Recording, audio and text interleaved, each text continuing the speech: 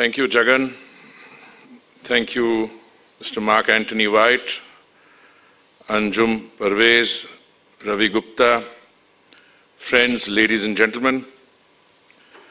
Let me start where Mark White concluded by drawing inspiration from General Patton. Insofar as India is concerned, I have absolutely no doubt, and the evidence is available for all to see, that insofar as the urban space is concerned, the country has a vision and it has a strategy, and that strategy finds expression and vigorous implementation through the five or six flagship programs of the government.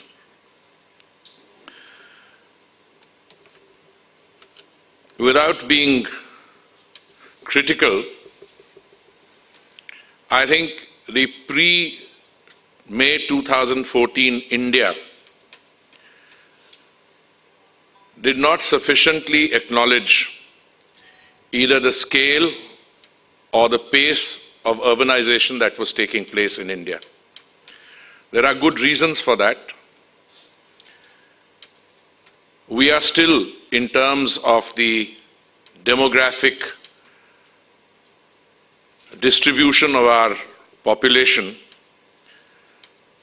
more heavily concentrated in what could be called the rural areas.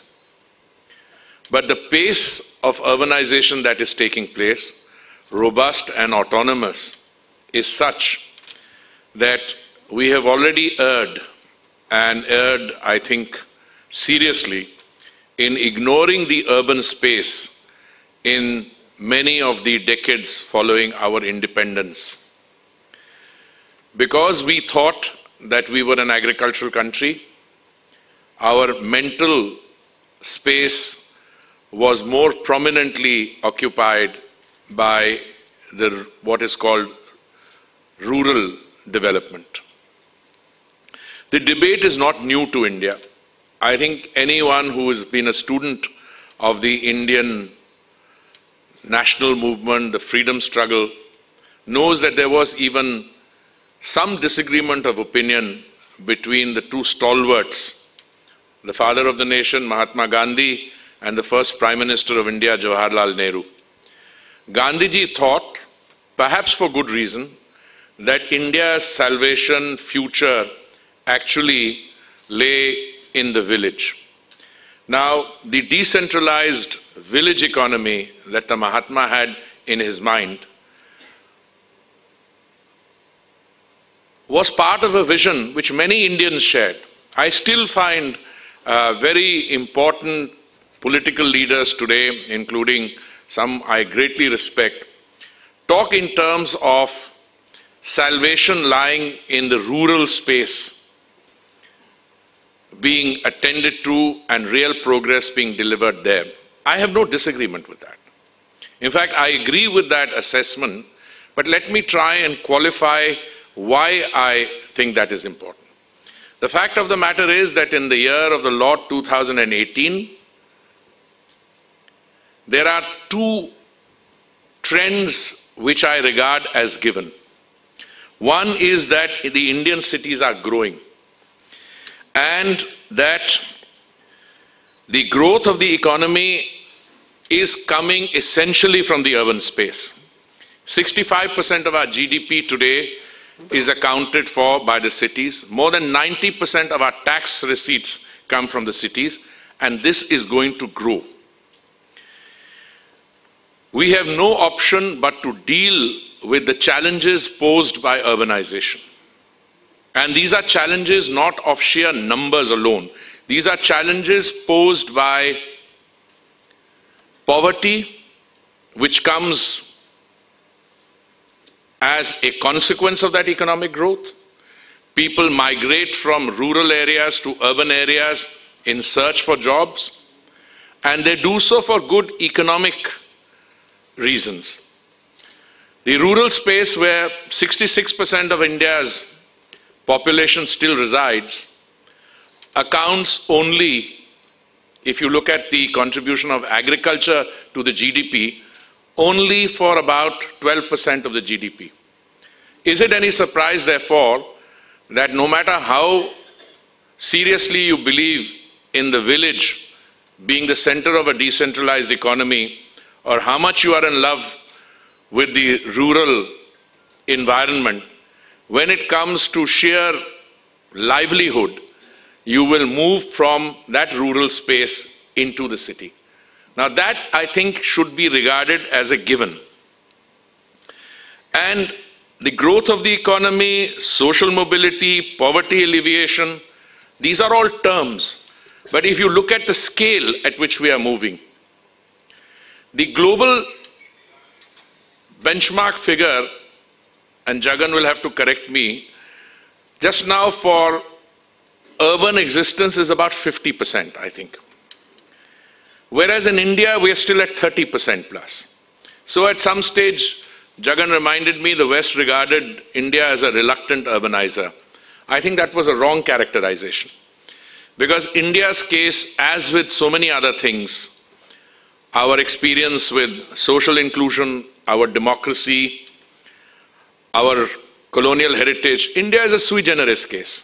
And that sui generis case means that if you have a population of 1.25 billion now, it was 300 and 350 million in 1947, you cannot be compared to countries like Brazil or Mexico. I had the privilege of being India's ambassador to Brazil. It's a country I greatly admire. But you know, it has three times India's land area, one-sixth our population, and it has 23% of the world's freshwater reserves. Now, if I had those kind of, uh, uh, you know, statistical comfort zone to fall back on, no Chinese or Indian does that because our population just now 1.25 billion plus. But we have to prepare for the fact that by 2030, 40% of Indians will live in urban spaces. You're not going to be able to stop that. Because in a democracy, it is up to, and democracy is all about that. Any Indian can choose. Uh, if you find the air in Delhi tomorrow uh, suffocating, you can pick up your bag and baggage and go and live in Bangalore. But I don't think Bangalore is any better. So you can then go and look for comfort somewhere else. But the fact is you have the freedom to move. But as I saw in a newspaper report two days ago, Delhi has also now got the highest amount of income tax uh, returns. It has overtaken Mumbai. The point I'm making is that we should start our understanding of the situation, the process, by the acknowledgement of the fact that urbanization is here to stay and that the only difference we can make is either to be able to successfully plan for it or as in the previous pre-2014 period, we just lament the fact that unregulated urbanization has taken place. So what is it that we are doing? Let me come to the substance of today's um, situation. We have a very serious problem in our urban spaces, but the Modi government decided to embrace urbanization as a win-win, and we have decided to do something about it. If, you, if I were to just catalog what we have done in Delhi, it is impressive, I mean the system. Yesterday, the Prime Minister inaugurated the fourth um, peripheral Western Expressway. Yesterday, we inaugurated another section of the metro to take the Delhi metro to 317 kilometers. It's now amongst the top four or five metro systems in the world. It's a world-class asset. It has affordability, efficiency, all those attributes. And I can give you a list of things which we've done in order to solve the problem. But this is almost like running and running fast in the same place in just in order to be able to remain in the same place because the problems are of such a nature. But I have a feeling that The difference that the flagship programs are beginning to make, and I come to the subject of this summit meeting, Swachh Bharat and the Amrut missions in particular. Let me start with the Swachh Bharat mission. The sanitation cover was 39% in 2014. Is that the figure for the rural or the uh, overall? Uh, overall, 39% in 2014. Today, that sanitation cover is 92%. This is all in the scope of four years. The Prime Minister announced from the ramparts of the Red Fort when he was speaking on 15th August 2014 that he would expect India as part of a fulfillment of our debt to the Mahatma that we would be open defecation free by 2nd October 2019 when India celebrates the 150th birth anniversary of the Mahatma. And also that we would have 100% solid waste management. Speaking on the occasion of a function which the Prime Minister organized yesterday, the Finance Minister said that when the Prime Minister announced this on 15th August 2014, there were many of us, not me, I wasn't here then, uh, who felt that it was perhaps too bold and or outrageous a target to set. But let me remind you, the Prime Minister had also said in 2014, when the World Bank ranked India at 142 amongst 190 or so countries in the ease of doing business, that he would like to see India at number 50 many people thought that was also bold and maybe a little reckless. But what we've proved, I think, in the four years of the Modi government, thanks to stakeholder participation, and that's where you guys come in, thanks to our citizens, that Swachhata or the Swachh Bharat mission has moved from being a project of the government to being a project of the people or a Jan Andolan. And I think the citizenship, citizen stakeholder participation becomes clear because there is a realization that poor sanitation, lack of clean drinking water, lack of hygiene in the household and the community creates an adverse impact on health as well as economic losses. So you have two aspects to this. You have the physical targets, the number of toilets you have to build, I was very happy to pick up the, today that the first mention of a public toilet in the history of us is in Jahangir's time. What year was it? 1015? 1556. Now, this is fascinating because if in 1556 there's a mention, I'm sure toilets were built before that. It's just a question of um, somebody not having chronicled it or recorded it. But today, my target of urban toilets is 67 lakhs or 6.7 million. That is to be completed by 2nd January, uh, 2nd October 2019. We have already done 6.2 million. And I have no doubt that by March of 2019, we would have finished all the toilet construction. These are individual household toilets. When it comes to community toilets, our target is 5 lakhs, we've already done more than 4 lakhs. Again, I'm sure this can be done by that time. But apart from Swachhta, uh, but the another component of that is solid scientific, solid waste management. And I have no doubt that even though the figures don't show it, but we have come up from 19% to 43%. But if you look at all the technology and the investment which is in the pipeline, that jump from 43 upwards will come in one spurt. And I think we are on the verge of getting that. Uh, I come now to the Amrut scheme. First of all, I think it's a good starting point to acknowledge that we have something like 4,400 cities in India. Our friend from Karnataka was mentioning about the coverage in terms of water supply connections and uh, uh, sewage treatment. Let me remind all of you that the Amrut scheme, which was conceived and initiated in June 2005, uh, 15, has to run for a period of five years till June 2020.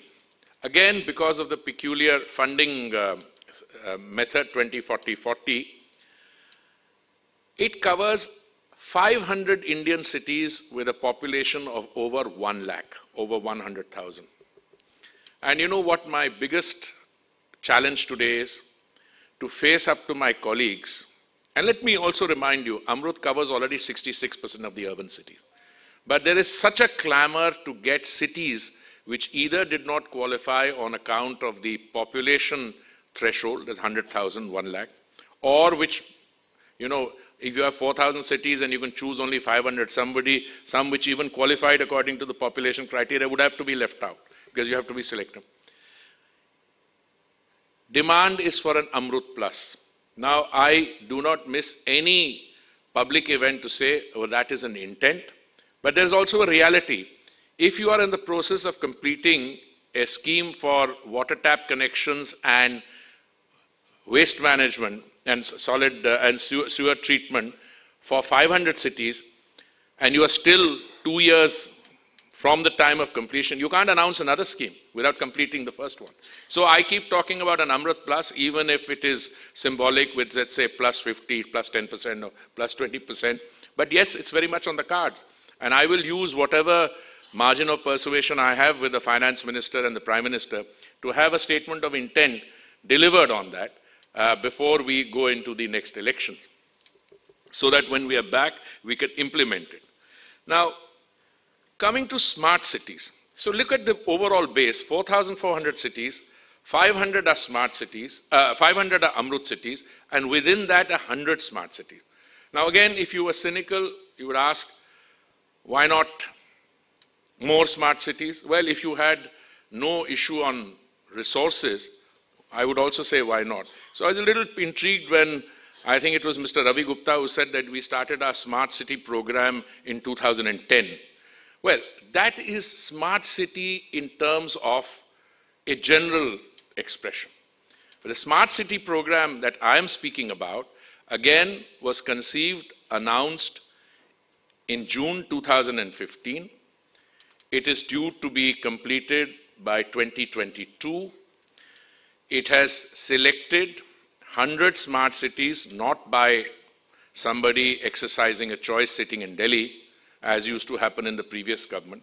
Used to sit in Nirman Bhavan, decide what the scheme is, uh, who will get the contract. This is nothing. This is cooperative, competitive federalism. We de de devise a scheme, we announce it, and then cities have to bid. They come forward and project their requirements in terms of a proposal. That proposal is evaluated. Now, these schemes all require tons and tons of money. But before I go off the smart cities, uh, I have no doubt that in an ideal setting, you would be able to choose 100 new smart cities and give them, um, you know, underground uh, sanitation, drainage, sewer, treatment plants. But you know, if you live in a country like India with such a rich and cultural past, you can't have 100 new smart cities if you don't deal with the existing ones. So 90 of the smart city projects are brownfield. And I would request you to go and see the development. When I became a minister in September of 2017, early in September, there was a lot of cynicism. Where are the smart cities? So I used to say, well, you know, if you have a scheme like this where you have no experience, it takes time to get a project management consultant. It takes time to set up a special purpose vehicle. And the first tranche of 20 smart cities was only announced in January of 2016. And after that, you take these 15, 15 months.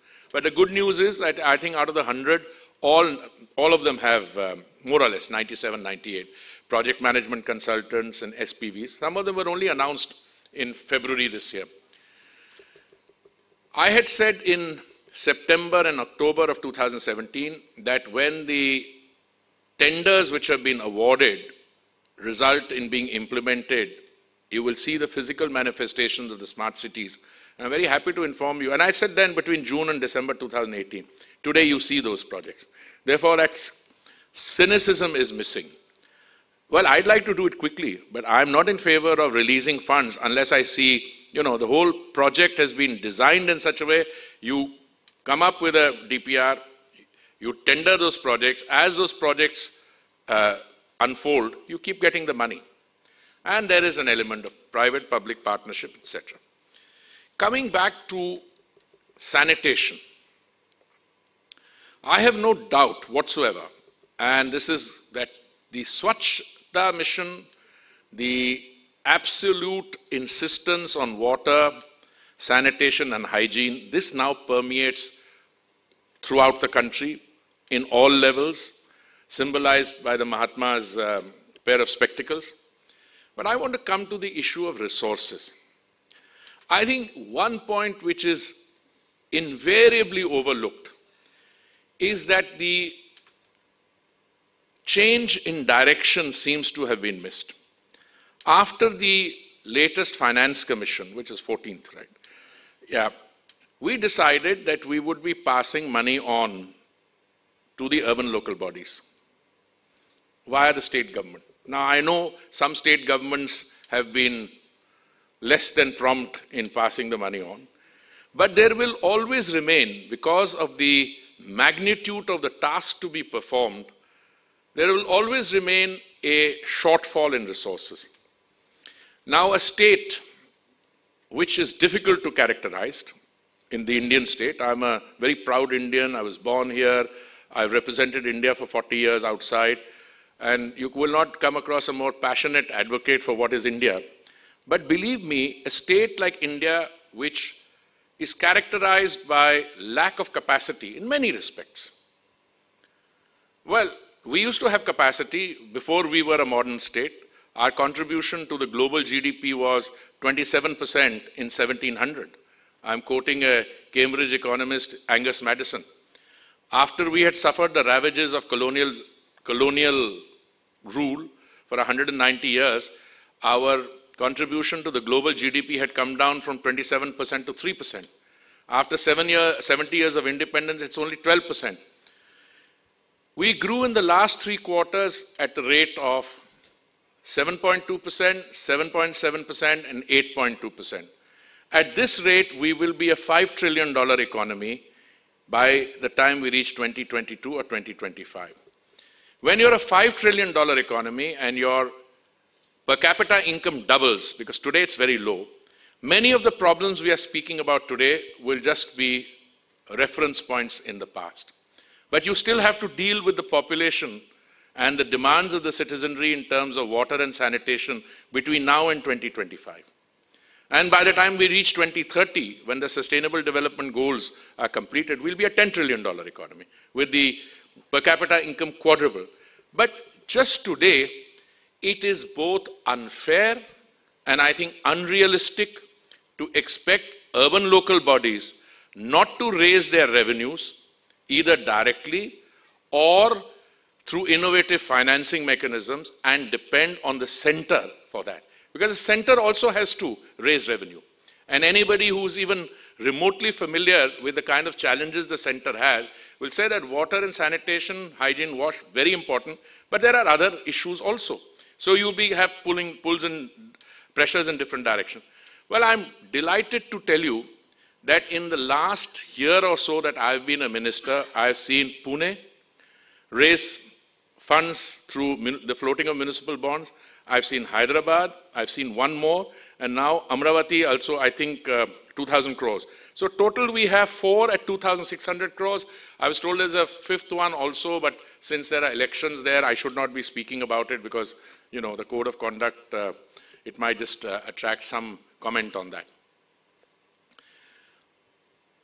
I have also no doubt, going by the experience of the Delhi Metro, that the citizen average citizen of this country is happy to pay for urban services provided he or she is assured that those urban services are available, they're efficiently delivered, and they are priced in an affordable manner.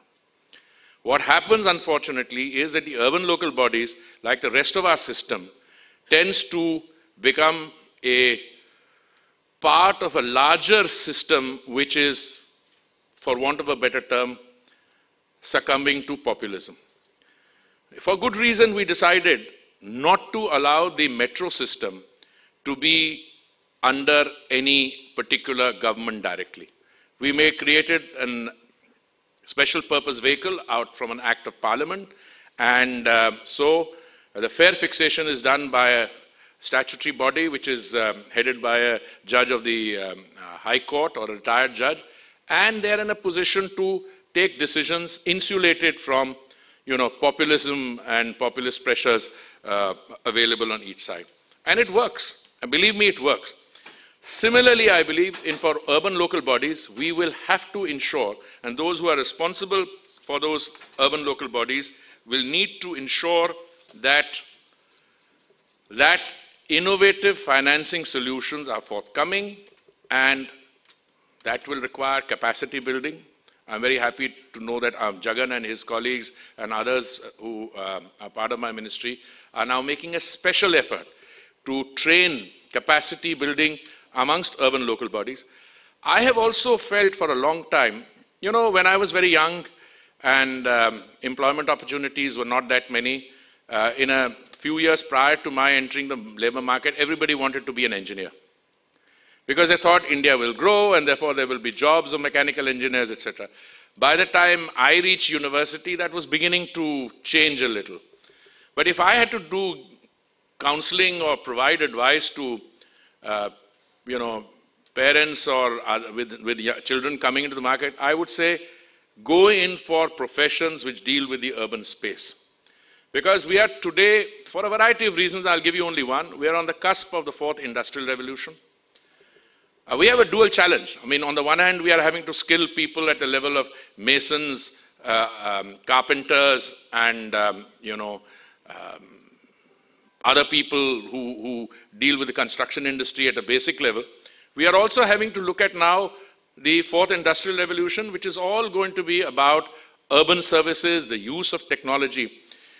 And we are woefully short of urban planners, of architects, uh, you know, people who will be able to run the municipalities and the urban local bodies.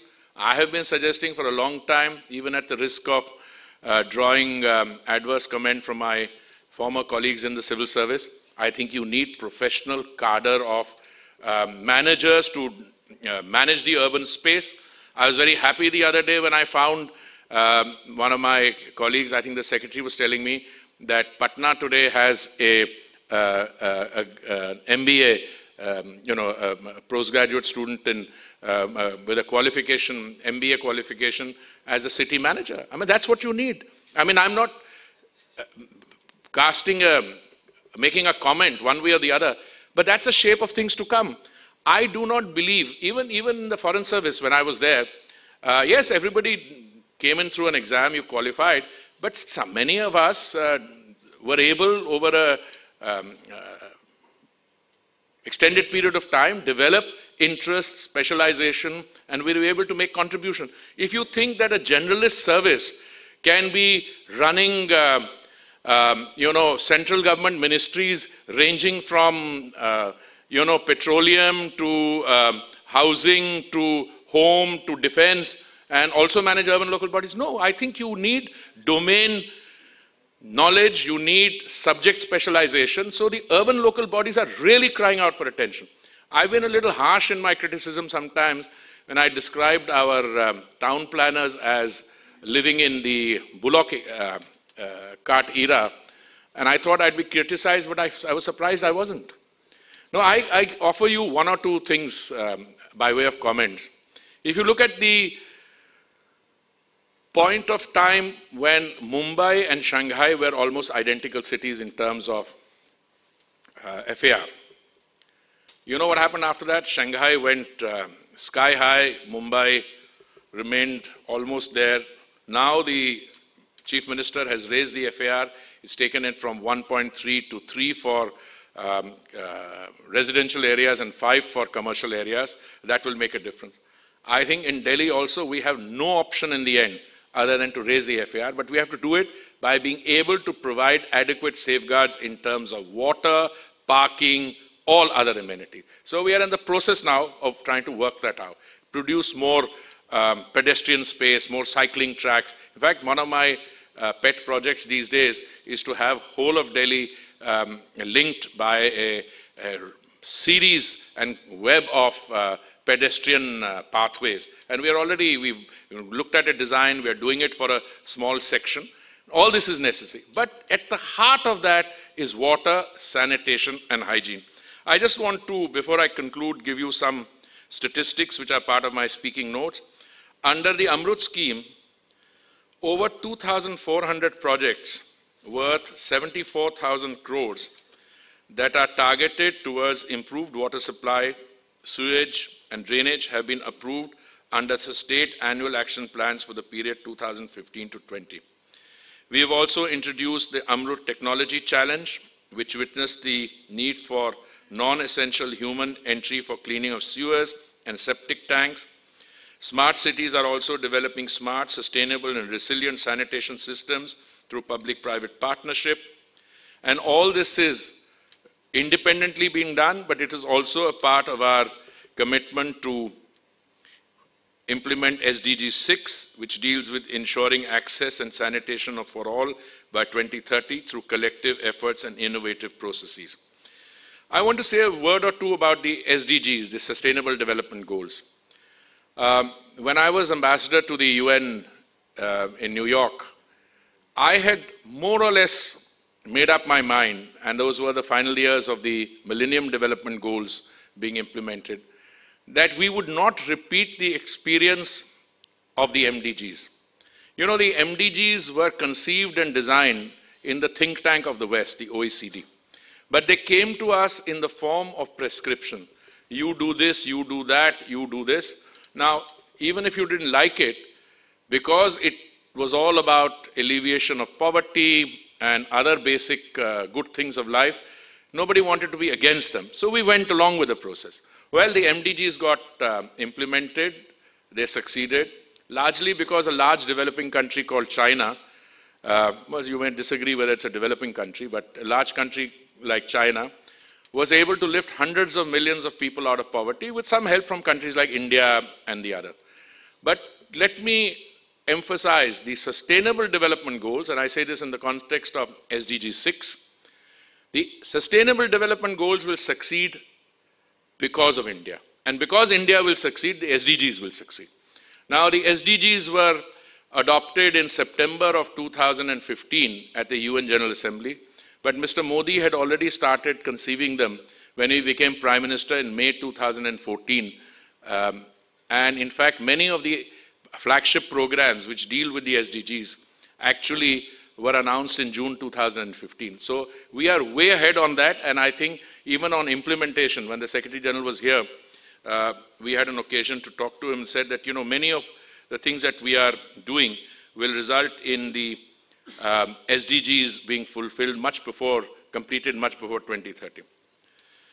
Now, coming to the innovative uh, or innovation and the innovation hub, I have a friend who is a very famous author uh, he lives in New York most of the time. And he once told me that, look, um, all this business about universities producing knowledge, and he's a professor also at a prestigious university. He said, that's not true. He said, I go to the university only for one reason, because I want to be in the company of intelligent people. Most other people come in to get an education, which does not produce knowledge. It it recycles something in an industrial manner. He said, if you actually want innovation, or you want to witness creativity, or you want to witness something that is really entrepreneur, uh, entrepreneurial, he said, go to the cafe uh, uh, on the sidewalks in Paris, or go to some other place where you have young or intelligent people together, like you get all of you gathered here, and just discuss a subject. See how many new ideas come through. And therefore, I like uh, uh, Mark's um, thing about creative solutions because it's not about something which is purely cerebral. You're dealing with real life solutions. You want your real life challenges, so you want a solution to that. And how do you get that solution? I can give you a solution to anything, but the solution that I give you may not be cost effective or may not be responding to the challenge that you're facing. So if you pose a problem, and sanitation is not a rocket science problem. I mean, let me start with that. It's something very straightforward. Uh, you know, um, uh, our friend from Karnataka was talking about um, underground um, drainage and uh, sanitary system. Look, I was ambassador to the UN in Geneva, and I used to have a beautiful villa which the government had rented on the banks of the um, uh, Lac Leman or Lake Geneva, and it was still using in as late as 2005 the pit system where there was no, uh, so every two months a truck used to come and fetch. So look, that's a, that has been the standard all over. So I keep telling people it's very easy to change all this. But when we are dealing with technology, we are dealing with innovation. I mean, yesterday we announced uh, uh, a technology challenge um, uh, results for having to deal with uh, manual scavenging. Now it's very simple. You're, deal, you're in a highly complex traditional society. We have banned manual scavenging by law. I mean, it's, it's, it's a punishment, it's a criminal offense. But what do you do if contractors still utilize unsuspecting people who without gear go into those manhole um, covers, etc. So now we are giving, coming out with a technology challenge, how you can do this other ways. The point I'm making is that while we continue to endeavor to successfully implement new solutions, which you will come out with, uh, pilot scale, then you must spread these to the entire country. Therefore, I want to acknowledge the significance of what the National Institute of Urban Affairs is trying to do with this project, Urban Innovation Hub for Urban Wash Solutions, which has also been supported by the US government. I think the need of the hour is to upscale and mainstream the innovations at city level. And I am particularly happy to see the NIUA is working on ways to enable cities to procure and mainstream the innovative solution. Jagan, I don't know what your plans are, but the results which come from this, will you put them down in a booklet or uh, uh, you put them, disseminate them? This is the only way that innovative wash solutions can have the desired transformational impact by improving the lives of our people. I'm only 14 months into the job, and um, I always like to acknowledge up front that there is more that I don't know than I do know. But I think one thing is clear that there is a need to rework the entire urban ecosystem that exists in our country. That I also mean the ways that city governments work. And I'm therefore happy that your project is building innovation ecosystems at the local level so that the ULBs can have the support and collaboration of local technical institutions, of the industry and business chambers, and the local community-based organization. Now, no matter which field you look at, uh, dealing with simple things like reverse osmosis plants, you dealing with other things which uh, in the interest, technology is available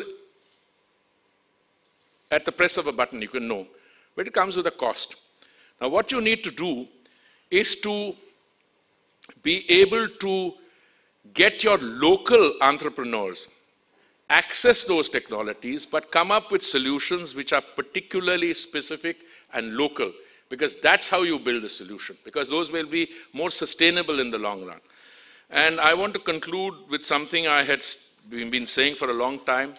Insofar as my ministry is concerned, you know, we have many tasks on our hand water, sanitation, hygiene. We also have to bring, build one Chicago every year, uh, 700 to 900 million square meters of space. Much of it is being done. But uh, the global technology, the global construction technology challenge, which we had announced some time ago, is we are about to complete work on that.